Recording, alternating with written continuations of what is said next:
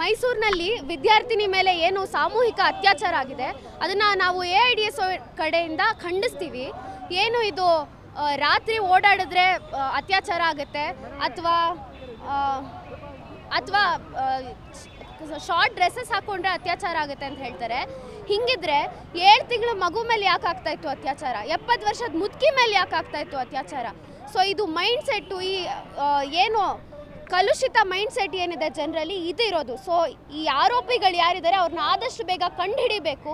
ಅವ್ರಿಗೆ ಖಂಡನೀಯ ಶಿಕ್ಷೆ ಆಗಬೇಕು. ಅದಕ್ಕೆ ನಾವು ವಿದ್ಯಾರ್ಥಿಗಳು, ಸಾಮಾನ್ಯ ಜನರು ಒಟ್ಟಿಗೆ ಕೂಡಬೇಕು, ಹೋರಾಡಬೇಕು ಅಂತ ಕೇಳ್ಕೊತೀವಿ. ಸೊ ಇದು ನಾವು ಎ ಐ ಡಿ ಎಸ್ ಕಡೆಯಿಂದ ಹೇಳೋದು.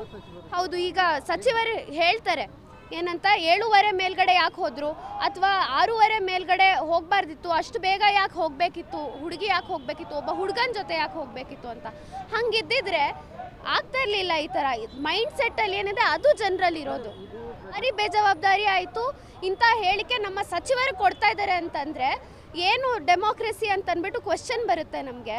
ಸೊ ಸಚಿವರು ಈ ಥರ ಇದು ಕೊಡ್ತಾ ಇದ್ದಾರೆ ಅಥವಾ ಒಂದು ಹೆಣ್ಮಗುನ ಒಂದು ಆಬ್ಜೆಕ್ಟ್ ಥರ ನೋಡ್ತಾ ಇದ್ದಾರೆ ಇದು ಸ್ಟಾಪ್ ಆಗಬೇಕು. ಎಲ್ಲ ಜನರು ಒಂದೇ. ಹೆಣ್ಮಕ್ಳು ಶಾರ್ಟ್ ಡ್ರೆಸ್ ಹಾಕಿದ್ರು, ಆಚೆ ಹೋದ್ರು, ಇದಾಗಬಾರ್ದು. ಎಲ್ಲರೂ ಎಲ್ಲರನ್ನ ಈಕ್ವಲ್ ಆಗಿ ನೋಡಬೇಕು. ಇದು ಪ್ರಜಾಪ್ರಭುತ್ವ. ಆದರೆ ಈಗ ಏನಾಗಿದೆ? ಮಿನಿಸ್ಟರಿಂದ ಹಿಡಿದು ಎಲ್ಲರೂ ಈ ಥರ ಕೊಡ್ತಾ ಇದ್ರೆ ಜನರಿಗೆ ಎಂಥ ನ್ಯಾಯ ಸಿಗುತ್ತೆ ಅಂತ ಹೇಳ್ತೀವಿ. ಇಂಥ ಘಟನೆ ಆದಾಗೆಲ್ಲ ಯಾವಾಗ್ಲೂ ಏನಂತಂದ್ರೆ ಹುಡುಗಿನಲ್ಲಿ ಯಾವತ್ತೂ ತಪ್ಪನ್ನ ನೋಡಕ್ ಹೋಗ್ತಾರೆ.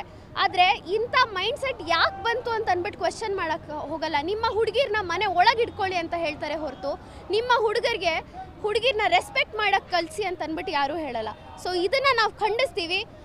ಚಿಕ್ಕ ವಯಸ್ಸಿಂದ ಎಲ್ರಿಗೂ ಎಲ್ಲರನ್ನೂ ರೆಸ್ಪೆಕ್ಟ್ ಮಾಡೋದು ಕಲಿಬೇಕು. ಹುಡುಗಿ ಇಂಥ ಅತ್ಯಾಚಾರ ಆದ ತಕ್ಷಣ ಹುಡುಗಿರ ಮೇಲೆ ಬ್ಲೇಮ್ ಮಾಡೋದನ್ನ ನಿಲ್ಲಿಸಬೇಕು ಅಂತ ನಾವು ಹೇಳ್ತೀವಿ. ಮೇಘನಾ ಸೆಕೆಂಡ್ ಇಯರ್ ಡಿಗ್ರಿ